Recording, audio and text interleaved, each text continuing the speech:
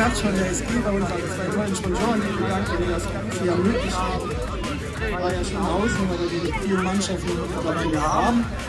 Und machen wir eine Kleinigkeit für euch von Mannschaft.